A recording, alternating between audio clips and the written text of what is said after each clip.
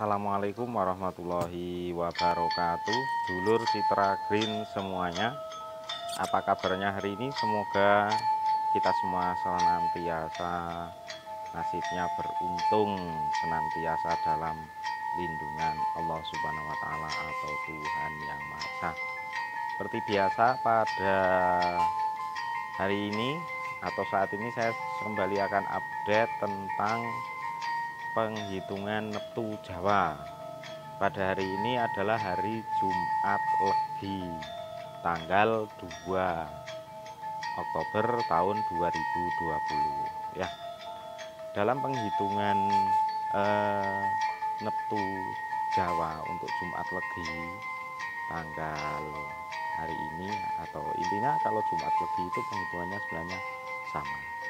Jumat itu penghitungannya adalah eh, jenjemnya adalah 6 sedangkan legi ada 5 ya jadi jenjem dari weton yang kelahiran Jumat legi itu 6 plus 5 jumlahnya berarti ada 11 jenjemnya kemudian membaca aura ataupun energi dari hari Jumat Legi pada hari ini bahwa eh, segala sesuatu yang apa kita impikan segala sesuatu yang kita harapkan itu harus selalu kita usahakan harus selalu kita ikhtiarkan sembari kita berdoa kita juga berusaha.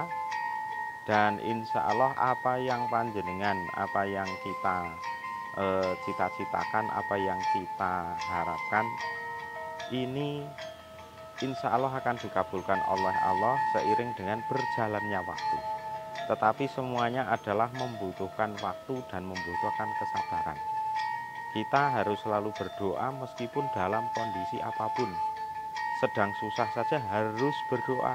Nah, sedang bahagia apalagi gitu jangan kebalik sedang bahagia kita lupa giliran sedang kita susah nah kita baru ingat kepada Tuhan. Tapi biasanya manusia seperti itu ya.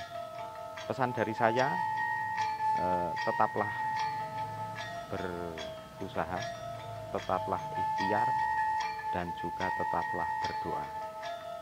Sebagai eh, pelajar misalkan sebagai siswa peserta didik ini tidak mungkin panjenengan itu dulur semuanya itu bisa pinter bisa pandai kalau tidak mau belajar. Nah, pandai ini adalah cita-cita ataupun jalan yang nanti akan kita gunakan untuk meraih cita-cita yang akan kita harapkan.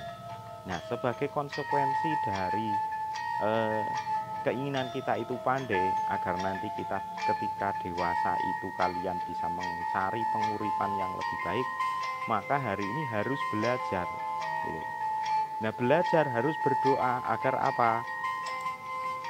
Hmm, materi yang kita pelajari ataupun pelajaran yang kita pelajari suatu ketika ketika akan diujikan ini akan keluar materinya. Jadi belajar itu juga harus berdoa agar apa yang kita baca, apa yang kita pelajari nanti pada saatnya akan dibutuhkan keluar ataupun ada materi yang kita kuasai.